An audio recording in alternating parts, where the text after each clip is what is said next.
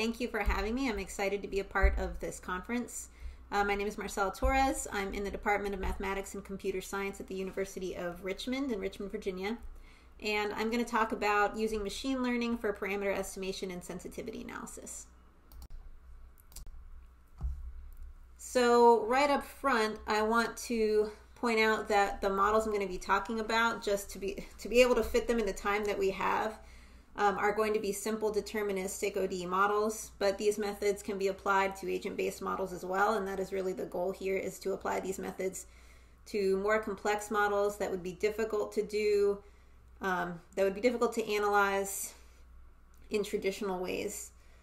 Um, so, for example, if we have a system of differential equations with n state variables and m parameters theta. And we have model output that, of course, depends on the model parameters and the state variables. Then what we can do, um, what we want to do is we want to be able to identify the parameters that capture the expected behavior. That's basically the purpose of modeling, right? And this can be with data or without data. Um, often early in the model development process, we have little to no data. So often what we want to do is figure out what sort of behavior the model is capable of producing to, you know, determine if it's a good model or any refinements that need to be made and just to understand the model better.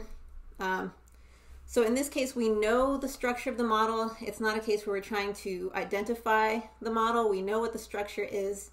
We want to learn more about the parameters and how they influence model behavior, or we want to find bounds on parameter space for when we actually have data so that we can estimate the parameters. And just to give it a little bit more concreteness, um, for example, this model could be as simple as a deterministic SIR model where you have um, that model is spread of infectious disease, where you have S representing the susceptible population, I the infected population, R the removed population. And the only parameters in the model, there's just three of them, mu, beta, and gamma. And then in this example, uh, the model output of interest could be the infected population at any given time t. And I chose this as the model output because this state variable we would expect to differ at sufficiently large t between a disease-free state and an endemic state. So often in biological modeling, really in any kind of modeling, we want to classify outcomes. Um, in biological modeling, it might be disease-free versus endemic, or it might be septic shock versus recovery, chronic inflammation versus resolution. Usually we tend to think of things in terms of classification and that makes it well suited for machine learning. So in the deterministic model, like the SIR example I just showed, the only inputs to the model are the initial conditions and the model parameters theta. So those inputs completely determine the model output and it becomes very important to um, understand how the parameters influence that model output. And during the model building and validation process, um, one of the things that we do, or we should do anyway, is sensitivity analysis to identify sources of uncertainty, um, whether that's uncertainty that's inherent in the model, whether um, something that we need to quantify for later data, so that we can identify uncertainty in the form that comes from data collection when we actually estimate the parameters.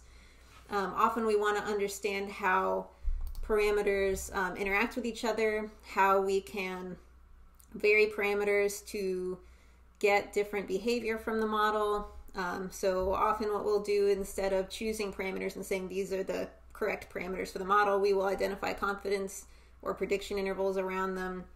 We will explore what happens if we vary them in concert or individually or pairwise. There's a lot of exploration that should go on in this process um, in order to be able to have any confidence whatsoever in the predictions from the model.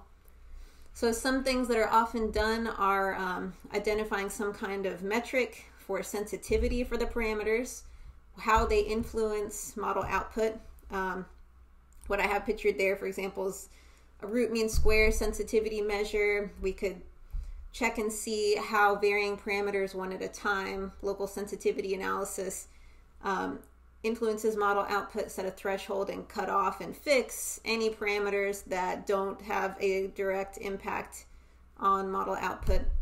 Um, we might examine pairwise interactions between parameters with plots. There's a lot of things that are done to understand how parameters interact with each other and how they influence model output.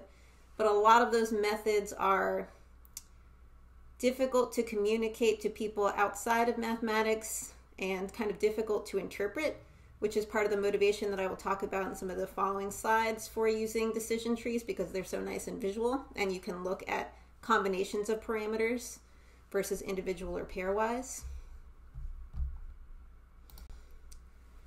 Another uh, part of the model development process is estimating parameters.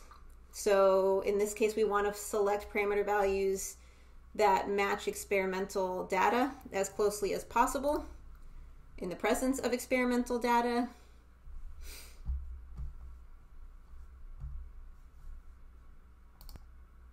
And fitting parameters in itself is a computationally intensive, lengthy, involved process um, trying to identify where to start searching for possible values for the parameters can be difficult, which is another um, benefit of using of doing some parameter exploration early in the model development process because that can narrow bounds for searching that you do in order to fit experimental data. And that is actually part of the motivation that I'll discuss on the next slide. So I mentioned one of the benefits to using the tree format is that you can really appreciate interactions between multiple parameters and how the associated output uh, relates to those combinations of parameters. Um, I can't stress that enough that it's very difficult sometimes to communicate to collaborators that you can't really that there are interactions between parameters the one may compensate for another and you can't really just change one in the model and have things come out the way you expect. So this is a really nice visual way of showing that the same behavior can result from different combinations of parameters. Um, a lot of other statistical and learning based methods of parameter exploration are not as easily visualized. Uh, another benefit is um, identifying sensitive parameters that drive model behavior. Um, and a limitation, I mean, you could view this as a limitation or a benefit.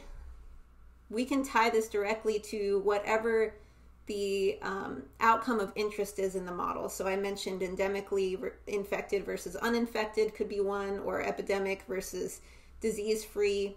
Um, if we're interested in how parameters lead to outcomes, then this is a good way of identifying which parameters drive those outcomes and we can change those class definitions dependent on whatever the behavior is that we're interested in. So we can uh, explore multiple things like stable versus unstable or endemic versus epidemic for the same model.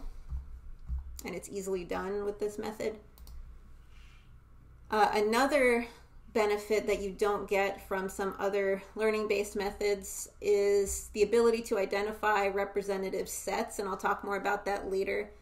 Um, so what we can get from these trees is not just feature importance or parameter importance. We can also find collections of parameters that um, differ fundamentally but lead to the same outcome. And that's something I will show visually later that'll make a little bit more sense. But finding representative sets that might illustrate different subpopulations or allow us to figure out what parameters to lump for model production and other things is very useful. And then finally, I had mentioned setting bounds on parameter space for fitting or reasonableness. So we can look at biologically reasonable versus unreasonable and identify whatever the parameter ranges are for that. It's something that can come in handy early on in the process um, before data is even available.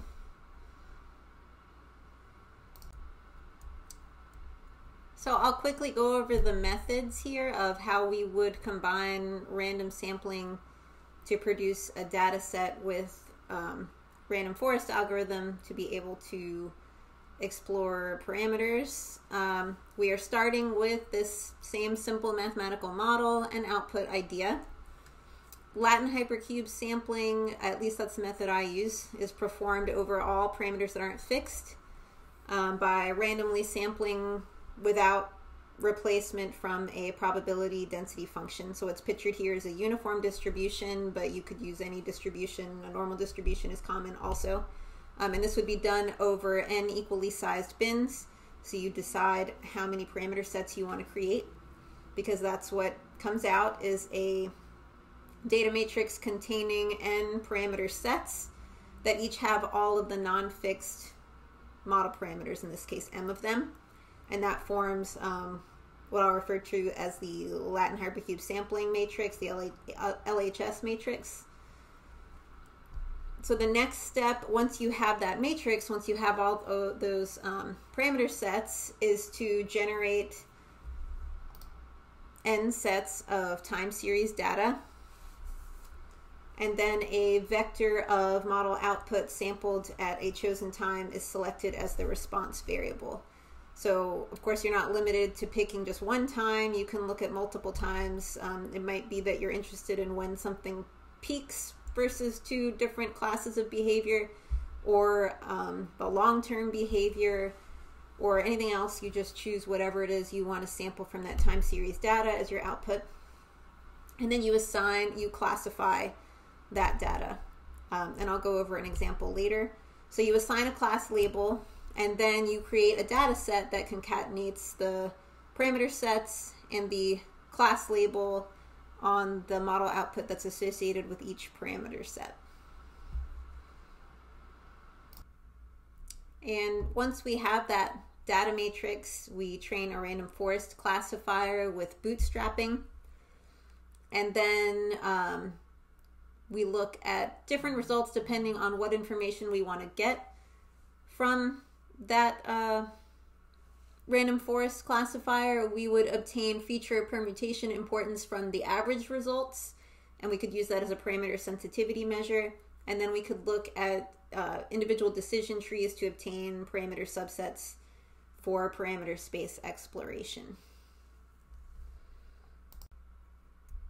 So just very briefly, because of time limitations, um, I do have a reference at the end from Breiman et, et al. But very briefly, for each decision tree in the forest, uh, binary tree classifiers repeatedly split the subsets of the measurement space, which in this case is are the parameter sets, into two descendant subsets at each node, each node t.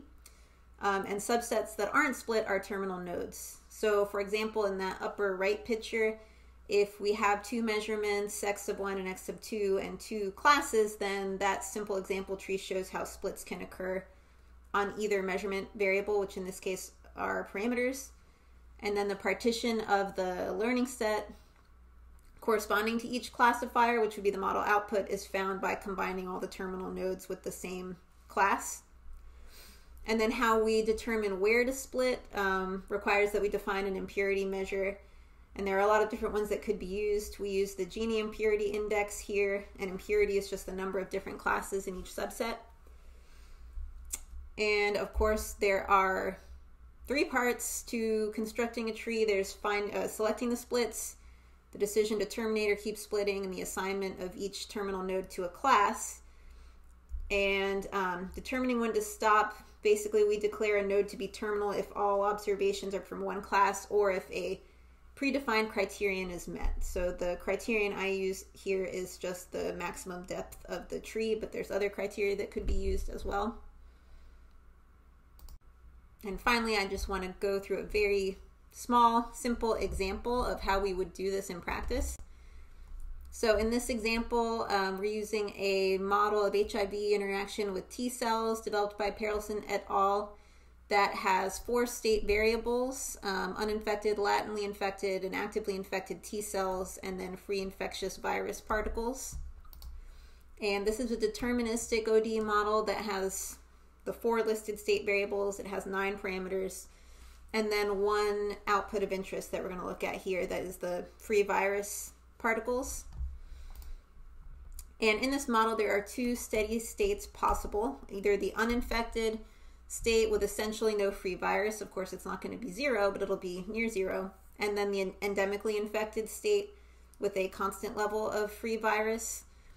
And what I've chosen here um, is the free infectious virus particles at day 4000, and that will be the classifier. So that will sort between the two possible outcomes, either uninfected at that time or endemically infected at that time. So in this case, um, the parameter for the maximum T cell population Tmax was fixed, and all the other parameters were sampled from a uniform distribution to create the data matrix. So each row of that matrix has a parameter set that consists of the remaining parameters. And the table there shows the default parameters that were used for analysis um, in Perelson et al and the parameter ranges that were used for Latin, Latin hypercube sampling um, and calculation of partial rank correlation coefficient in Marino et al. And I have the references at the end. So I chose this benchmark example to compare to analytic methods and then statistical methods that have been used previously on this model. So I use the same Latin hypercube sampling ranges for that reason. So once we have the data set, the next step is to implement random forest algorithm, and there's lots of implementations out there. I happen to use the random forest classifier from the Python scikit-learn machine learning package. Um, so this process involves computing n number of trees, um, bootstrapping, selecting various arguments in the model that I'm going to compare results for on the next slide. Um, I mentioned choosing a cri criterion, um, here I chose the Gini um, impurity index, but one thing I'll note is that permutation index might be preferred in the case of many correlated parameters, um, and that's discussed in one of the references I have at the end. So we choose the number of trees that we want in the forest, we aggregate the predictions, we use the out of bag score, um, that gives us a sense of how correct the predictions are, and then we would compute feature importance based on the averaging from all of the trees.